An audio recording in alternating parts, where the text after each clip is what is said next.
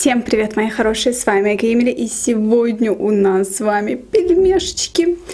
И, к сожалению, это последние пельмешки, которые есть у меня в морозилке. Мамочки тоже нету, покупные я уже разучилась кушать, поэтому не знаю, как будет дальше, что будет с нашей судьбой, с пельмешками.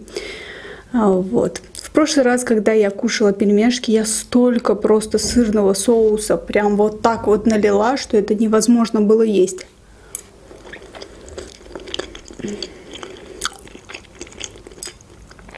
Просто получилось, что я даже не доела именно из-за того, что было противно. Так много было соуса.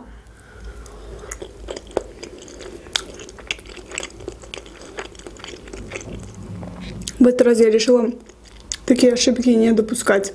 И как вы думаете, что я сделала с пельмешками, которые были в этом соусе? Конечно же, я их съела. Я вообще не люблю, когда люди выбрасывают продукты.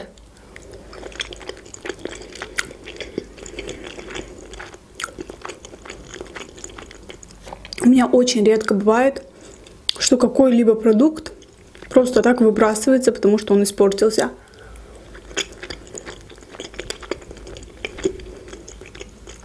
И это не потому, что мне жалко потраченные деньги.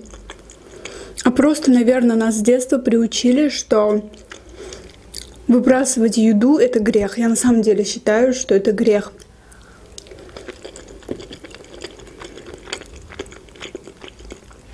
Почему-то, например, какое-то платье, которое я купила, ни разу не носила, не знаю, я спокойно могу его выбросить, но что касается еды, меня просто очень сильно мучает совесть.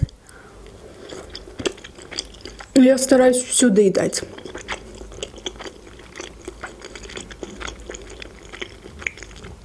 Может, это не очень хорошо по отношению к моему организму, но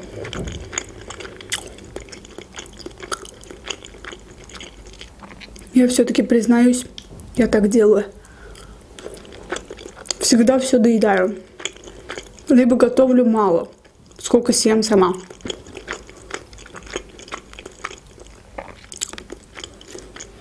Я была в шоке, когда я пришла в гости к Шелли, у нее там в холодильнике несъеденная клубника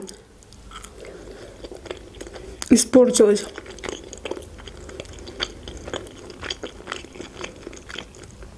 Причем в такой период, когда клубника стоила ужасно дорого, я говорю, ты чего, подруга?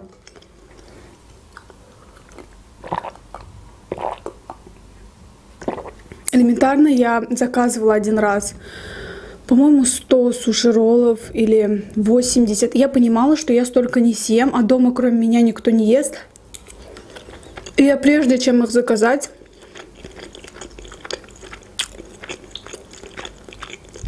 я позвонила двоюродному брату. Сказала, что слушай, у меня здесь будут роллы, вы не хотите? Я сразу их хотела куда-то пристроить, потом уже заказать.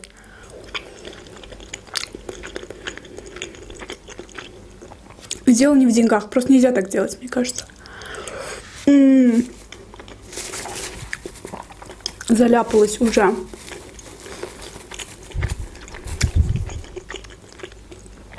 Вчера со мной произошла очень странная ситуация. Я хочу спросить у вас совета. Так получилось, что бабушка мне предлагала деньги, потому что бабушке всегда жалко меня. Она говорит, что вот, ты работаешь целыми днями за компьютером и так далее обеспечиваешь всех нас, вот тебе моя пенсия, потрать ее на продукты или на еще что-то.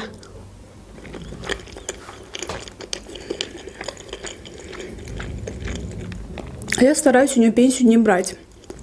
Пусть копит себе. Я не взяла у нее деньги. Она мне предложила еще раз. Мы сейчас с бабушкой вдвоем. Я опять же не взяла. Проходит где-то, наверное, 5-7 часов. Я вижу у себя в кошельке 70 а, монат. Это где-то 50 долларов лишних.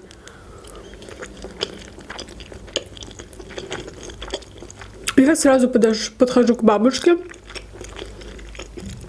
и говорю, зачем ты мне положила в кошелек? Она говорит, я клянусь, это не я. То есть она такой человек, она просто так не будет клясться.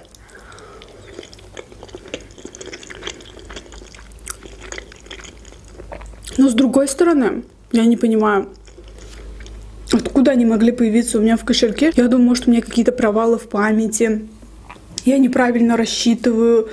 Не знаю. Одно дело пропали деньги, да, а другое дело появились. Вот это очень странно.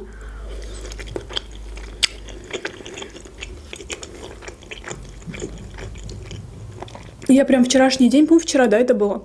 Вчерашний день, целый день думала, откуда у меня появились эти деньги.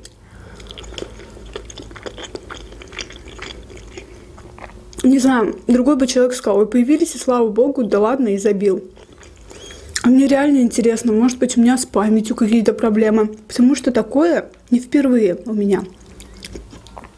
Вот. Было такое, что Фати должна была мне дать 60 монат. Где-то 45 долларов. Прошло немножко времени. Я смотрю, у меня в кошельке мало денег. А у меня в памяти сложилось, что она мне дала эти деньги. Потом я спрашиваю Фати, Фати, говорю, я, кажется, деньги потеряла. И она потом мне сказала, кажется, я тебе, говорит, не дала.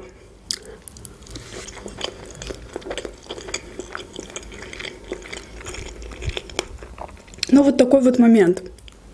После того, как я нашла деньги у себя в кошельке, а, бабушка уже больше не предлагает мне деньги. Тут такой замкнутый круг.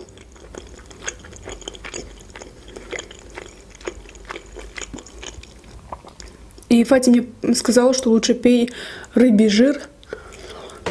Он помогает восстановить память, это очень полезно. Пишите в комментариях, что лучше пить для восстановления памяти и так далее. Просто ситуация, абсурд, можно так сказать, да? В кошельке деньги, спрашиваешь у бабушки. Бабушка клянется, божится, что нет. Бабушка говорит, если бы я положила, я бы тебе сказала, что здесь такого-то.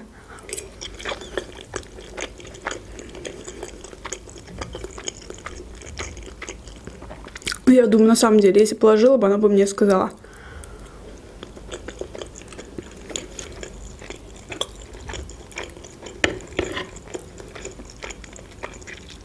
Какие вкусные пельмешки. Вот что я буду делать, когда они закончатся. Хотя они закончились. Осталось буквально, по-моему, два грузинских хингаля и четыре манты.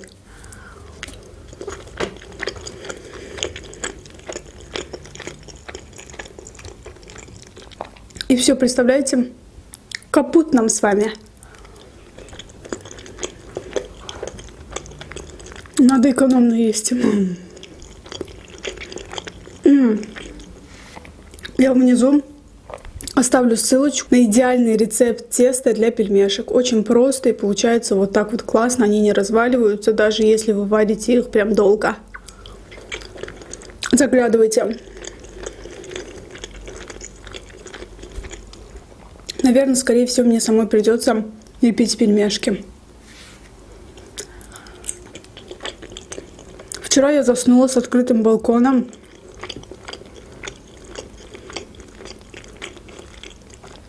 И ночью я проснулась от того, что я просто дрожу от холода.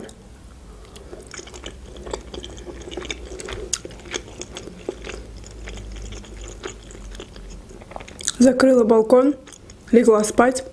Вообще я даже гриппом сейчас боюсь заболеть, потому что, не дай бог, у меня будет хоть немножко температура. Мне кажется, это поднимется такая паника, меня отправят ко всем этим, кто болеет коронавирусом, и там я точно заражусь.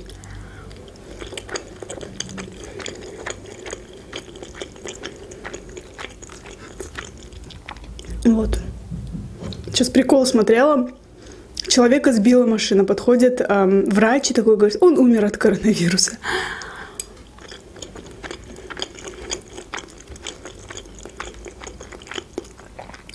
Поэтому надо себя беречь как никогда. И у меня еще очень слабый организм в том плане, что вот любая болезнь у всех проходит нормально. У меня всегда с осложнениями, всегда с проблемами. Поэтому как-то так. Раньше мне очень нравились покупные вот эти пельмешечки. Потому что мама нарезала лук ножиком. И перемешивала с мясом, делала пельмешечки. Мне не нравится, когда кушаешь пельмешки, вот такой вот хруст этого лука. Вкуснотища просто.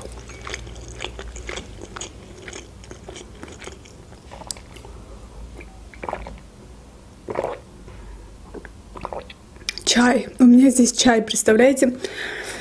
Я вообще решила, что я больше не буду пить воду из холодильника. Вот, потому что уже побаливает горло. А вот. Надо быть аккуратной.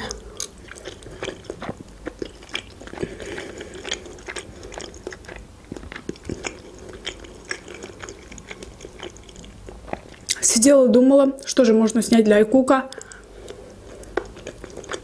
Мама еще скоро не приедет. Как минимум еще месяц она там.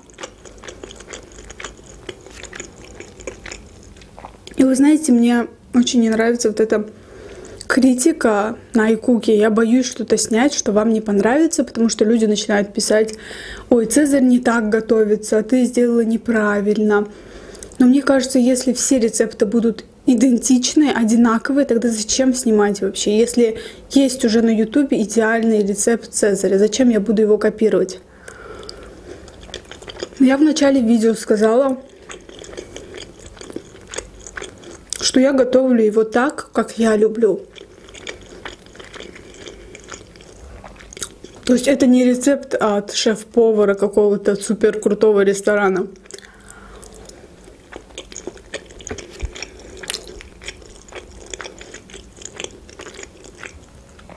Это рецепт от Айки, который снимает мукбанки.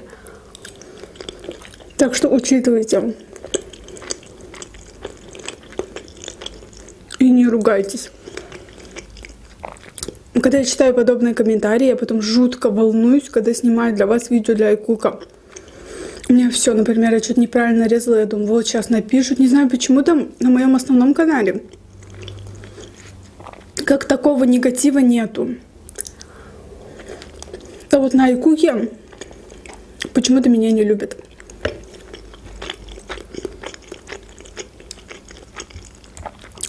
Вчера, например, бабушке приготовила такой супчик, ей понравился.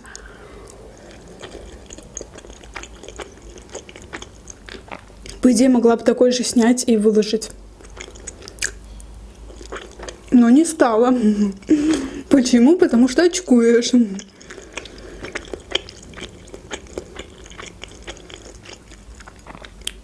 Мой вам совет, когда будете кушать пельмешки, не надо вот так вот сверху майонезом или каким-то соусом. Вот так вот идеально просто.